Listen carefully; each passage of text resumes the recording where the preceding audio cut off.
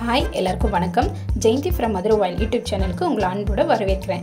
இன்றைக்கி நம்ம என்ன பார்க்க போகிறோம்னா ப்ரான் பெப்பர் ஃப்ரை எவ்வளோ சிம்பிளாக பண்ணுறதுன்னு பார்க்கலாம். அதுக்கு ஃபஸ்ட்டு மூணு ஸ்பூன் ஆயில் சேர்த்துக்கோங்க.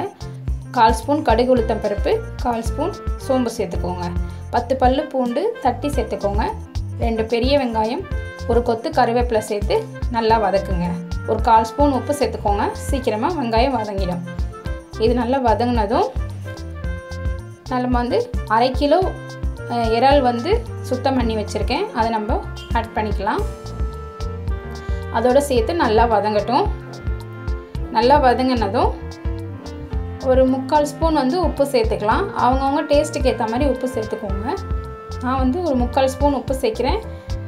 கால் ஸ்பூன் மஞ்சள் தூள் அரை ஸ்பூன் குழம்பு மிளகாத்தூள் அரை ஸ்பூன் தனியாத்தூள் அப்புறம் அரை ஸ்பூன் மிளகுத்தூள் சேர்த்துருக்கேன். இப்போ நம்ம காரத்துக்கு வந்து இது வந்து மெயினாக பெப்பர் தான். உங்களுக்கு எவ்வளோ பிடிக்குமோ அதை நீங்கள் அது மாதிரி சேர்த்துக்கோங்க. இப்போ இது நல்லா வதங்கட்டும். இப்போ நான் தண்ணியே சேர்க்கல. அந்த இறால்லேருந்து வர தண்ணி மட்டும்தான்.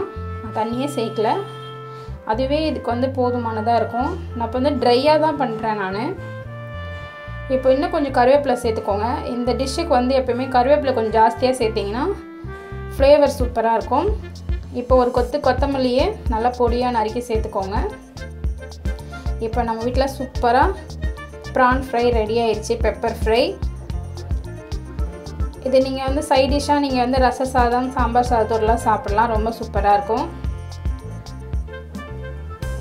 நல்லா சூப்பராக ரெடி ஆயிடுச்சு உங்களுக்கு இந்த டிஷ் உங்களுக்கு பிடிச்சிருந்தா உங்கள் ஃப்ரெண்ட்ஸ் ஃபேமிலிக்கெலாம் ஷேர் பண்ணுங்கள் லைக் பண்ணுங்கள் கமெண்ட் பண்ணுங்கள் முக்கியமாக சப்ஸ்கிரைப் பண்ணிவிடுங்க தேங்க்ஸ் ஃபார் வாட்சிங்